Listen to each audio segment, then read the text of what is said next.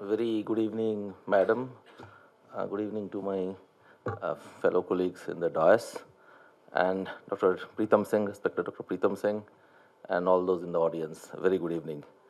Now, uh, I would like to share some of the uh, some of the thoughts when it comes to experiential learning, and uh, I will relate that with our experiences at IMT Ghaziabad and some of the experiments that we have undertaken.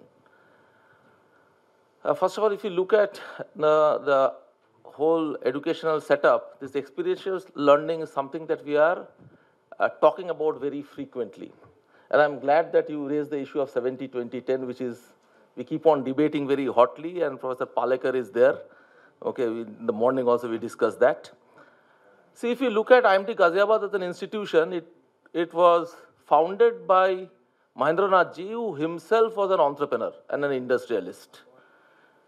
And the way he conceptualized the institution was that it will be a practice based institution. And that those who will graduate from that institution will be essentially meeting the needs of the industry, who will be more grounded, who will be execution focused, and will be thinking like entrepreneurs.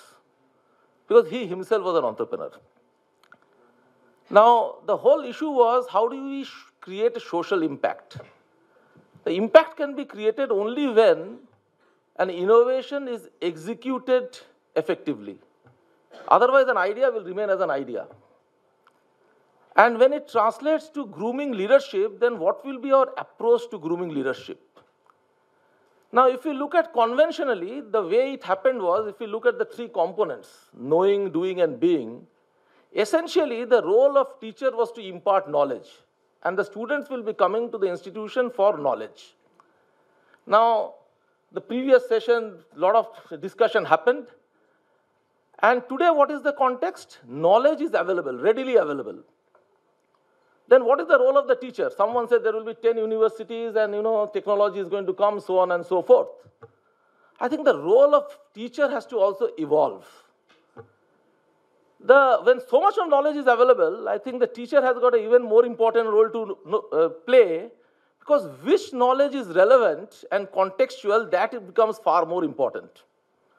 So the role of the teacher will, will be to find out the right knowledge for the right group of student which means matching which knowledge for which student. I think that will be one of the important roles. Now, if you look at conventional education, knowledge was at the center. If you look at three components.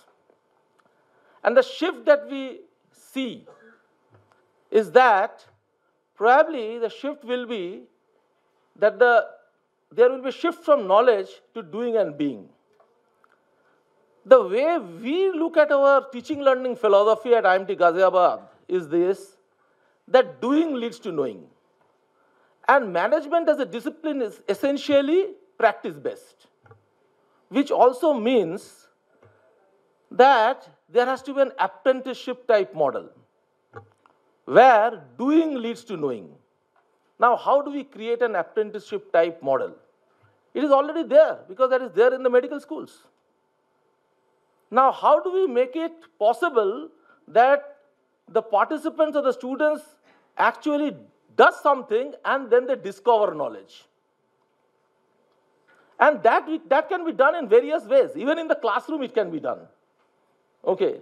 We were doing a case jointly. He was the one who actually led the, you know, the Eureka Forbes direct selling model. And for one of the case studies is on Eureka Forbes, and we were there in the class together and we just got the Eureka Forbes salesperson to give a demonstration. Now, whatever we might say that what is a sales encounter through theory, it can never be done until and unless actually, actually someone does a sales encounter. Now, what a, to, just to give you a simple example, I'm talking about in classroom how a case can be done or what can be done. That what is the what is the turning point in the sales encounter? when a Eureka Forbes salesperson comes to your home. It is very simple. He takes the, you know, he does the vacuum cleaning and takes out the dirt, and then the hand gets dirty, and he washes it. You know, he just, you know, rubs it in his white trouser. And that is the moment of embarrassment for the homemaker. Because that is what has happened now. The floor was, or the furniture was so dirty that this guy's shirt, this guy's trouser got dirty. Now, you can create that experience even in the classroom. And a salesman is, you know, we will say simple salesman. You don't need a, need a CEO in the class for a guest lecture. You can get a salesman to do that in the classroom. And that creates an experience. And as faculty, we need to understand how do we plan these moments in the classroom to deliver what we want to deliver. And that is something, a challenge, which will make the faculty relevant. Otherwise, the earlier session of today will become more relevant. And that is an important point to look at. So what we are looking at is that how can we translate doing into knowing? The few things that we have undertaken. One of the things is this that for our students, we have made a program on sustainability and social responsibility, a required course in the first year of the curriculum. We have tied up with the local authorities like the Superintendent of Police's office, the District Magistrate's office, and the GDA, the Ghaziabad Development Authority. And they have found the projects through in which our students are engaged with. They are working in the community development projects, and that's a required part of the curriculum. Each of the functions within the institution is managed by the student committees, and there are 31 committees under the mentorship of faculty, which means that they have to create the budget. The sports committee has to create the budget, and they will be responsible to you know, go by that budget and to see that whatever goals they wanted to achieve is actually achieved. Now, the whole institutional setup can be used as a laboratory. Similarly, when we are talking about executive development programs, we are actually following the, the whole mod, apprenticeship model. We are talking about live consulting assignments by the executives in the companies where they work jointly with a faculty mentor from the institution, which is IMT, and an and an organizational mentor, which is the supporting organization. Now, which is it's a two-way, because the, you can actually apply what you have learned and you learn from your applications. I think that becomes important. And I'm glad that Pratik talked about his two years, which was the most crucial one in terms of your entrepreneurial journey. I think in our restructured curriculum at IMT, what we have done is for our two, two-year MBA students, apart from the eight weeks you know, summer internship, there will, be, there will be a required six-week internship with startups. Because that is where they will understand what are the boundary conditions within which the frameworks work and where they don't work. Okay. Appreciation of a different context. That's something very important. If you are talking about design thinking in the first year of the curriculum, how does it get applied in real life? That is, that is where experiences matter. So the idea is that translate doing into knowing.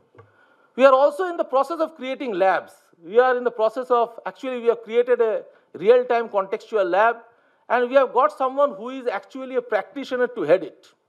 So when we are talking about a contextual lab, we are getting a practitioner in the area of mobile marketing, in social analytics, in web advertising, new media, and that lab actually works with the industry. And the students will work on those projects. So the classroom will be not be used to you know, pass on information. Classroom has to be used to generate new insights, generate new knowledge through discussions. Knowledge needs to be, you know, knowledge has to be discovered rather than knowledge being fed in. And I think that is where the apprenticeship model of education, which we are also talking about the experiential learning, I think that will be an important way forward, given that knowledge is readily available. What are the challenges? I think the, one of the important challenges is how do we gear up faculty to actually accept these new pedagogies and learning. What we are proposing is just like we have got summer internship for students, okay, apart from the fact that they will work, they will be working in the live internal, uh, internal consulting assignments with our executive participants or our lab. The other thing is what we are proposing is professors in business. We are, we are you know, uh, we are working out arrangements with the industry where our faculty will be able to spend time during the summers to actually go and work with the industry just like what our summer interns do. And that will probably make them more relevant.